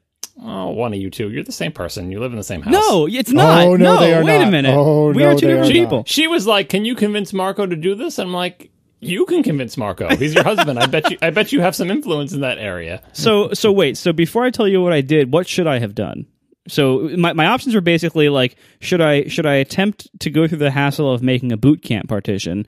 And and of course you know then having to install have, first having to get Windows having to install Windows and then having to run Windows. Or should we just buy an Xbox One? Uh, because they're actually not that expensive these days. The answer, the, the surrounding context of this is that a bunch of people who are on the incomparable have played Inside, and it's the whole reason I uh, wanted to play it was like they've already played it, and uh, they wanted to have a podcast about it. And if you want to be on the podcast, you have to have played it. And at this point, there was no implied schedule of like when we were going to do this thing. But the point is, they had just played it. Like three or four people had played it, so there was a possibility that hey, three or four people played it. It could have gone up on the schedule for like next week's show, and so time was kind of of the essence here. Um, and in that scenario, in the context of which it was asked, hey, a bunch of people played Inside, I want to play it too, I only have a Mac. The answer, the obvious answer, is Boot Camp because it's not just an investment for this game because you can play lots of things in Boot Camp. There are lots of games that are only available for Windows, and it's really easy to do. And I know you have tons of spar- spare hard drives laying around, and it gets you the game the fastest with the most bang for your buck. Now, the Windows thing is an issue, but had you followed up with me on that, I would have told you the same thing everyone on Twitter did, but you can get a free trial. And does the free trial matter for a game that takes three hours to play? Who cares? A 90 day, 30 day free trial of Windows? Like, this is the fastest way to go from zero to I have played inside. Uh, with minimal, especially if you're not the one who has to install Boot Camp, just make make you do it. Uh, like Tiff just makes you do it, and it's fine. Uh, but even if you have to do it yourself, like I did, before you even got to the point where you asked the same question on Twitter to get the same answers from other people, I had finished the game already. I had installed I had installed Boot Camp, played the game, finished it. Like it is not that bad. Um, and now I actually have I actually have a had a legitimate copy of Windows 7 from back in the day. So now I have a more up to date Boot Camp partition. And by the way, yes, my 2008 Mac Pro played inside just fine at native res. Of course. So Casey, what do you think I should have done? Oh, you absolutely, without a shadow of a doubt, buy the Xbone because that is the most Marco solution to this problem. But no, but you don't know like the the the backstory in the Xbox One is there's two new ones coming out, the, a, a better version of the current one, and then a much more powerful one a year later. So this is kind of the wrong time to buy an Xbox One as well. How much is the Xbox One? You can get them on. You can get them on Amazon for about two hundred and fifty bucks. You absolutely buy the Xbox One, and then if you want to, try to sell it for a hundred bucks later. You're not going to be able to sell that Xbox One once the new ones come out. so so here is my dilemma. Basically, like the Xbox is the lower effort. Ver- the, the lower effort, slightly more money version than just buying Windows or whatever else. Which is the Marco version. That is the Marco version. Yeah, probably right. However, and and if it was if it was a PS4 and I didn't already have a PS4, I might have done that. However, our house is full of game consoles that we've played very briefly, and then they just sit around for the next seven years collecting dust under the TV. And I I just I don't want another console because like if you look at these two options, what do I have? Like after we're done with this, if it, whether it's like a Windows partition or an external Windows drive or whatever, or this game system, what am I stuck with afterwards in the house? Like what is going to collect dust in the house afterwards? If it's a boot camp partition, nothing, or at worst, an external disk of some kind. If it's the game system, which admittedly is easier, I have this giant box sitting around and these controllers and these plugs and these adapters and all this crap. I like I, I have game systems. We have a PS3 in the closet that I hardly ever played.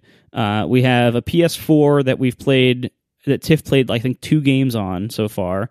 Uh, and, and you know VR stuff is going to come out and make all these systems irrelevant anyway. Well, let's not go crazy here. We- We have a 360 that that, that I bought like you know back in like 2008 or something. That's that has very rarely actually you know we've used it in bursts here or there like to like Tiff would play a certain game on it or I'd play a certain game on it but for the most part it didn't get a lot of use. Before that we had a Wii that didn't get a lot of use because like everyone else's Wii we tried it had fun for a month and then never played it again. You know somewhere we have a Wii Fit balance board where the same the same fate happened. I mean so like I have all these like giant plastic game systems all over the place trying to figure out what the hell to do with them. You can't really sell them. They're not really worth enough to justify like their shipping weight once they're used and old and so like I was like, what what the heck do I do with all this? So and also the Xbox One in the current generation just seems like the loser system. And, and I apologize for anybody who has one, but it just seemed like I have so often in my life made the wrong choice on a format war or a game console generation or something. I've so often like chosen the losing side and then been stuck with this like losing hardware and and you know having all the problems that go along with that. And so I try to avoid that as much as I can these days because I've I've done that so many times. Like I bought a DVD plus R drive. I mean, come on. So I try to avoid that. And the Xbox One just seems like it has so definitively lost this generation. And you know, th- some generations are closer than others. This one seems like it's not close. Well, the Xbox One, that's that's the other reason you don't want to buy it now because it's it is poised to win the 0.5 generation that they're both doing. Like so, when in, in the revised versions, the not the sh- not the Xbox that is essentially the same Xbox One but smaller and like quieter. Like Right, it's coming out like in a week. yeah, whatever. Not that one. Like that's fine. That's just like what they normally do. But the one after that, which will be competing with the new new PS4, they will both be more powerful consoles. The new more powerful Xbox One will be much more powerful than the new more powerful PlayStation 4. So it'll be an inversion of the current scenario where the PlayStation 4 is slightly more powerful. This will this will widen the gap in the opposite direction. Will that be enough to make the Xbox One do better in this generation? Probably not, especially since they'll have to make the games play on the Xbox One too. But uh, it's all it means is that this is the wrong time to buy an Xbox One, essentially, unless there's a whole bunch of games that you know you want to play. But more importantly, and this whole big thing that you've this that you've gone through, the most salient fact here is while you've been worrying about this, Tiff has not been playing Inside, and she could be done already. It's a three-hour game; you could have been done. Like all this hemming and hawing is like pointless, and t- like, oh, you're not stuck with much in Steam. Not only are you not stuck with much, if you make like a boot camp partition, that is an asset. She will not delete it. There are tons of games on Steam that are only available on Windows. When they have Steam sales, she'll buy something for three bucks and get a, a day's worth of fun out of it, and that's a good deal. Like you won't be like, and I know you have hard drives hanging around. You don't have to buy a hard drive. Like you have them there. This you should have already done this. I feel like you're failing as a husband and probably as a father. Adam is disappointed in you too. Let's be honest. So here's the other the other side of this. The rationale on the boot camp side is I find Windows dirty. Like I don't like Windows. I I was there for so long. I I, I fled, and I don't want to go back. And I have I have occasionally maintained a boot camp partition on my own computer on my on my own Mac, um, very occasionally. And the last time was a very long time ago. Because every time I do it, I regret having done it because I just I realize how much I hate Windows and how much I actually don't like gaming very much anymore. Anyway, but Tiff Tiff does play games, so you know, so I wanted to do, I want to do something for her. So I, but her computer has like no free space because she has tons of photos on it because she's a photographer. So tons of photos on there. There's no free space in the built-in drive. I I've eventually learned that oh, you can actually do boot camp on external drives these days. I didn't realize that until fairly recently. That solves a lot of these problems because then like I don't feel like I have this like dirty Windows partition sitting around like junking up my Mac all the time because I can just unplug the drive and put it in a drawer, and then it's it's gone. You know. So uh, I didn't, but I also didn't want to put it on a spinning disc because those are huge and ugly and loud. And I actually don't have any two and a half inch spinning discs. I, I only have three and a half inch ones that I, that I could devote to it, and that would be even larger and even louder and, and even hotter and slow. And I don't think I even have any three and a half inch enclosures. This is a lot of excuses. I installed it on a big spinning 3.5 inch disc, and you know what? I already played the game. Good. And I hate Windows more. I guarantee I hate Windows more than you. Guarantee. it. yeah. Well, anyway, so instead of doing any of those options, I had to buy something, of course, because I like buying things. Uh, I went on Amazon and I bought one of those little Samsung T3 uh, external SSDs. oh, of course you did. Yeah, because they're great overall. Like mm-hmm. they're fantastic Yeah, no, little SSDs. And I didn't have any other SSDs that were large enough. I had like an old, really tiny one, but none that were large enough. So I just bought the 250 gig one for like 80 bucks on Amazon a few a few days ago. It arrived yesterday. I installed it all this morning. I, I followed the Stack Overflow instructions on like how to do an external Windows. First, you have to like load up VMware, load up uh, load up Windows in that, use the disk image tool and whatever you know automated install tools or whatever to do all this stuff to make it configurable on the external drive. Then install Windows in the external drive using these other Windows installation from your VMware. It's like all this crap. I'm like, all right, I'll put all this crap on my laptop to configure all this because I don't, I don't want this cluttering up my desktop. so, like, I don't want a VMware installation. I'm never going to use that. It's just going to cause problems for me. So just put it all on my laptop. I don't care.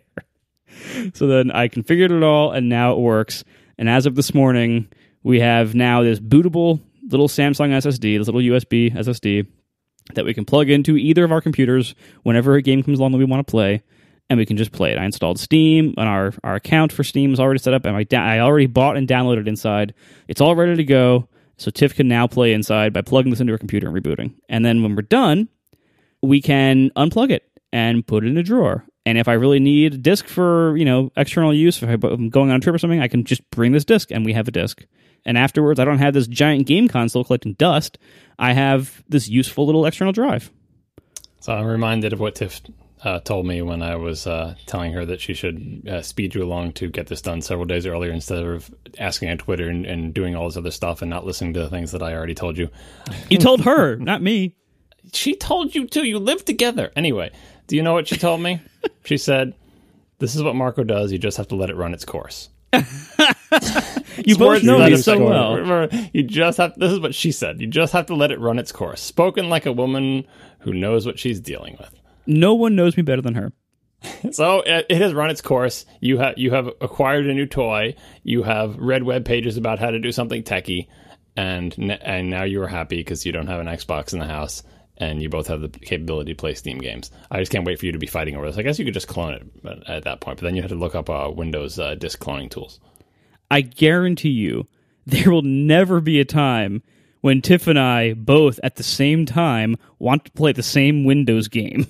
That's not you going should, to you happen. You should both play inside. It's fun, although, yeah. You can just watch her play. It'll be fine for you, probably. That's all I'm going to want to do, yeah.